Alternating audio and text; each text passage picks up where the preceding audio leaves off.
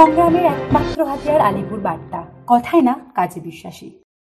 প্রত্যেক দিনের গুরুত্বপূর্ণ খবর দেখতে সাবস্ক্রাইব করুন আমাদের ইউটিউব চ্যানেল আলিপুর বার্তা। আর নতুন নতুন আপডেট পেতে অবশ্যই বেল আইকনটি প্রেস করুন। জননী সুরক্ষার চিকিৎসা ও মানবিকতার নতুন ঠিকানা Medicare nursing home maternity and nursing home এখানে অভিজ্ঞ ডাক্তার মণ্ডলী ও আধুনিক যন্ত্রপাতি দ্বারা সকল রোগের চিকিৎসা, ডেলিভারি এবং অপারেশন করা হয়। দিবারাত্রি ডাক্তারবাবুরা এখানে থাকেন। আমাদের ঠিকানা ডোঙ্গারিয়া মোড়, Nodakhali, Dakshin Chabbish Pargana.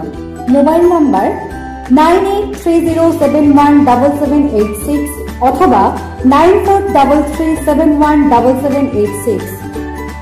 Swasthya Sathi O RSBY মান্যতাপ্রাপ্ত Medicare nursing home maternity and nursing home proprietor doctor M Rahman এই মুহূর্তে আমরা দাঁড়িয়ে আছি দক্ষিণ শহরতলির মহেশতলা বিধানসভার অন্তর্গত ষোলো নম্বর ওয়ার্ডের Kasturi Das memorial super speciality hospital.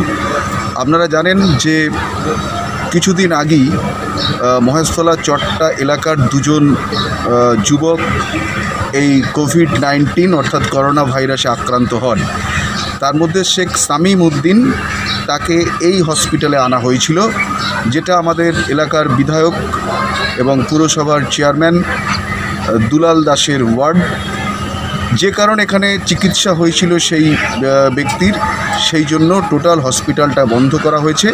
দুলালবাবু সেই প্রসঙ্গে জানিয়েছেন, তা আমরা পরে দেখাচ্ছি।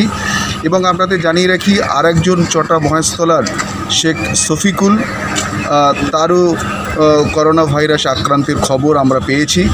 তাদের সকলের এখন চিকিৎসা চলছে এবং তার কিছুদিন আগে মহেশতলা পুরসভা তেইশ নম্বর ওয়ার্ডের জালখুড়ায় শেখ আফতাব নামে এক যুবক এনআরএসে করোনায় আক্রান্ত হয়ে মারা যায় বলে সূত্রের খবর, যদিও সরকার থেকে সেভাবে এখনও ঘোষণা করা হয়নি।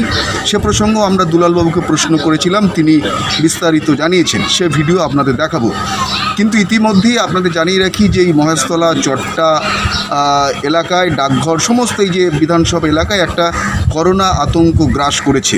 আমরা পথে ঘাটে ঘুরলাম, দেখলাম যে যেখানে লকডাউন চলছে আগামী তেসরা মে পর্যন্ত যেটা ঘোষণা করা হয়েছে এখনও অনেক মানুষ সচেতন হননি, অনেকেই মাস্ক ছাড়া ঘুরছেন প্রয়োজন ছাড়াই বাড়ির বাইরে বেরোচ্ছেন তো এই ব্যাপারে আরও মানুষকে সচেতন হতে হবে, এটা দুলালবাবু বলেছেন, এবং আমরাও আমাদের মিডিয়ার পক্ষ থেকে সকলকে অনুরোধ করছি যে এই করোনা ভাইরাসকে প্রতিরোধ করার জন্য আপনারা লকডাউন মেনে চলুন বিস্তারিত খবর আমরা বিস্তারিত আমরা মুখোমুখি হয়েছিলাম এলাকার বিধায়ক দুলালবাবুর। সেই ভিডিও আমরা তুলে ধরছি আপনাদের সামনে। আমরা এই মুহূর্তে উপস্থিত হয়েছি আমাদের মহেশতলা বিধানসভা এলাকার যিনি বিধায়ক মাননীয় দুলাল দাস তার বাড়িতে। আপনারা ইতিমধ্যেই জানেন যে মহেশতলা পুরসভার তেইশ নম্বর ওয়ার্ডে আহ, সূত্রের খবর একজন করোনা আক্রান্ত হয়ে মারা গেছেন এবং মহেশতলার চট্টা এলাকার দুজন করোনায় আক্রান্ত। সেই জন্য মহেশতল ইতিমধ্যেই একটা এই করোনা পরিস্থিতিতে আলোচ্য বিষয় হয়ে উঠেছে। কিন্তু দুলালবাবু, দুলালদা বিভিন্ন কর্মসূচি নিচ্ছেন এই করোনা আতঙ্কগ্রস্ত মানুষদের জন্য। আগামী দিনে তিনি কি ভাবছেন তার কি পরিকল্পনা? সরাসরি আমরা তার মুখ থেকেই শুনব। তেইশ নম্বর ওয়ার্ডে একটা ধোঁয়াশা তৈরি হয়েছে। ওই শেখ আফতাব নামে যে এনআরএসে মারা গিয়েছিল, তারপরে কোয়ারেন্টিনে তাদের ফ্যামিলির আটজনকে এবং প্রতিবেশী আঠেরো জনকে মহাস্থলা মাতৃসদনে রাখা হয়েছিল। কিন্তু সরকারিভাবে এখনও সেই অর্থে কোনো কিছু ঘোষণা হয়নি। যেহেতু আপনি এলাকার বিধায়ক আপনার মুখ থেকে আমরা শুনতে চাইছি। না শুনুন আমরা যে ব্যাপারটা জেনেছি এই ঘটনাটা মারা যাওয়ার পরেই জেনেছি যে মারা গেছে এবং তারপরে এটা নিয়ে নানা রকমভাবে নানা কথা উঠেছে। কিন্তু আমরা খোঁজ নিয়ে তদন্ত করে যেটা জেনেছি ও দীর্ঘদিন যাবৎ একটা ভাইরাসে ভুগছিল ব্র্যাড ভাইরাস। এবং তারপরে ও পড়ে গিয়ে পা ভেঙে গিয়েছিল হাত ভেঙে গিয়েছিল সেই নিয়েও এনআরএসে ভর্তি হয়েছিল। এবং ভর্তি হওয়ার পরে সেখানে মারা যাওয়ার পরে ওটাকে বলা হয় যে ভাই ইয়েতে করোনা হয়ে গেছে, মারা গেছে পজিটিভ তারপরে ওদের বাড়ির লোকজনকে নেওয়া হয়েছে, ওখানে স্যানিটাইজেশন করে দেওয়া হয়েছে, একদম পুরোপুরি সব সব কিছু করে নেওয়ার পরে। কিন্তু যাদেরকে ইয়েতে কোয়ারেন্টাইনে নেওয়া হয়েছে এবং আমাদের মাতৃসদনে যে আঠেরো জন রাখা হয়েছে একজনেরও পজিটিভ আসেনি, সবই নেগেটিভ এবং আশেপাশে যত ইয়ে করা হয়েছে সব ঠিক আছে।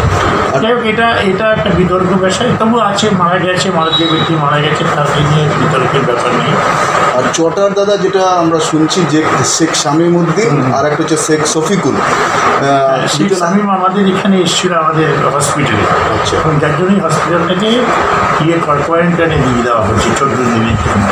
শুধু যে পেশেন্টরা ভর্তি আছে তাদের চিকিৎসা হবে এবং ওই সময় যেসব ডাক্তার এবং স্বাস্থ্যকর্মীরা ছিল তাদেরকেও কোয়ারেন্টাইনে নিয়ে নেওয়া হয়েছে। ঠিক আছে? আচ্ছা। শুধুমাত্র ডায়ালিসিসের পেশেন্টদের তাদের ডায়ালিসিস করতে হবে কারণ না করলে সেই ডায়ালিসিসের লোকেরা কোথাও গিয়ে ডায়ালিসিস করাতে পারছে না তার মৃত্যুপথের যাত্রী হবে। সেই হিসাবে আমরা অনেক চেষ্টা করি সিএমএস এর সাথে কথাবার্তা বলে ওটাকে করিয়েছি এবং গভর্নমেন্ট ওটাকে অ্যালাউ করেছে আমাদের এটাকে ডায়ালিসিস করা মানে সাধারণ রোগীদের জন্য বন্ধ করা হয়েছে। সাধারণ। রোগীদের সাধারণ রোগীদের ঢুকিয়ে বিপদ কেন করবে আমরা ওটাকে গতকাল স্যানিটাইজেশন করে দিয়েছি পুরোপুরি বিল্ডিংটাকে। একদম। পৌরসভার তরফ থেকে আমরা ওটাকে স্যানিটাইজেশন করে দিয়েছি। যাই হোক এখন দেখা যাক কী হয় যাবে এরপর সিএমআইস দেখবে আমি যেটা মহেশতলায় কি এই ঘটনা নিয়ে কোনো আতঙ্ক মনে হচ্ছে আপনার আতঙ্ক সব কিছু নিয়েই আছে। কিছু কিছু মানুষ আতঙ্ক তৈরি করতে ভালোবাসে। আচ্ছা। সেই ধরনের মানুষেরা আছে আতঙ্ক তবে দেখুন এটাতে আতঙ্ক কিছু নেই। আমি সতর্ক থাকতে হবে আমার আমি সতর্ক থাকলে আমি সঠিক থাকব। আমি যদি সতর্ক না থাকি, আমার যে কোনো সময় আমার বিপদ আসতে এটা নিয়ে কিছু করার নেই। আমাদের নেত্রী মমতা ব্যানার্জি, মাননীয় মুখ্যমন্ত্রী, তিনি বারবার বলছেন যে আতঙ্ক হবেন না, সতর্ক থাকুন। কিন্তু দাদা একটা জিনিস দেখছি আমরা রাস্তাঘাটে লকডাউন সবাই কিন্তু এখনও মানছে না। আমরা তো এলাম বিশেষ করে জিঞ্জিরা বাজার। হ্যাঁ মাঝে বাজার কেন? মেলা বাজারগুলোই। এই সব বাজারগুলোই এরকম হচ্ছে সব বাজার। তা এইখানে যদি পুলিশ এরকমই আজকে আমাদের মেমানপুরে একদম পিটিয়ে পুটিয়ে সব দোকানটা বন্ধ করে দেওয়া হয়েছে। পুলিশকে একটু নিষ্ক্রিয় হয়ে গেল? না পুলিশ নিষ্ক্রিয় হয়নি। দেখুন একটা কথা বলি পুলিশকে তাহলে জোর খাটাতে হবে বিভিন্ন জায়গায়। তখন আবার আপনারা বলবেন বা সাংবাদিকরা বলবেন অন্য লোক প্রচার করে যাও পুলিশ রেগে অত্যাচার করছে, মারছে। পুলিশ যতটা সম্ভব, যেভাবে সম্ভব, ঠেকিয়ে এটাকে ঠিক করার চেষ্টা করছে। এটা আমাদের সকলকে প্রচার করতে হবে, সকল মানুষকে আমাদেরকে এটা নিয়ে প্রচার করতে আমি যেরকম রাস্তায় যাই, কাউকে দেখতে এই তুমি এটা পড়নি কেন? যা ওটা পড়ে এসে, বাড়ি ঢুকবে না কিন্তু তাহলে পুষিয়ে দিয়ে লাঠি খাওয়াবো।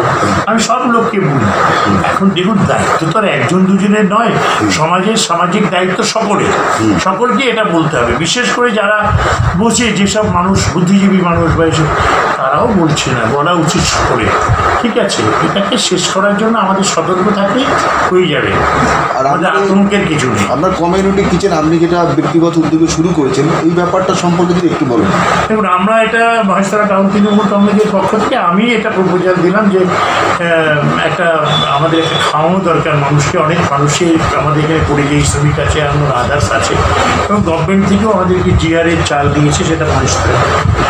যাই হোক, আমাদের এখানে মোটামুটি একটা জায়গা আছে। আমরা সরকারি চাল বা ডাল বা কিছু নিয়ে নয়, আমরা পৌরসভাগতভাবেও নয়, আমরা এটা আমাদের পার্টির উদ্যোগে আমি, আমার বিধায়ক হিসাবে আমি একটা টাকা কালেকশন করে আমি এই কমিউনিটি ইয়ে করি এটা জন আহার এটার নাম হলো জন আহার খাবারটাকে আপনি পৌঁছে দিচ্ছেন বাড়ি বাড়ি। হ্যাঁ বাড়ি বাড়ি পৌঁছে দিতে কেউ সে নিয়ে যাচ্ছে যে যেরকম পারছে। আমাদের লোকেরা বুথে বুথে চলে যাচ্ছে নিয়ে নিচ্ছে। ঠিক আছে? আমি বলছি দাদা আপনার সাংসদদের একটা কল্পতরু কর্মসূচি একই সঙ্গে চালাচ্ছেন তাহলে সেটাও কি এখানে চলছে? না চালাচ্ছেন আমি চালাচ্ছি না। আমাকে বলা হয়নি এ ব্যাপারে আমার সাথে কোনো আলোচনা একটা খবর আমাকে দেওয়া হয়েছিল। যে এটা আমরা কল্পতরু করব এটাকে করার জন্য? আমি বললাম, দেখুন, আমার পক্ষে আপনারা যে সিস্টেম কোনো সিস্টেম বললেন না, কিছু বললেন না, শুধু বললেন একটি ব্যক্তির নাম বলে দিলেন, ওকে সঙ্গে নিয়ে করতে হবে। কারণ আমি কাউকে সঙ্গে সঙ্গে নিয়ে করতে পারব না। আমি পরিষ্কার কথা, আমি, আমিও করব, আমারও আমি এত ঝামেলা নিতে পারব তাহলে ওকেই দিয়ে দিন। ও করুক সেভাবে করছে, ওরা ওরা জানে। আপনারা খোঁজখবর নেবেন এলাকায় কী করছে, না করছে, সেটা আমার পক্ষে এটা করা সম্ভব না। আর এটা আমার দল থেকেই করছে, দলের যুব শাখা করছে, করুক।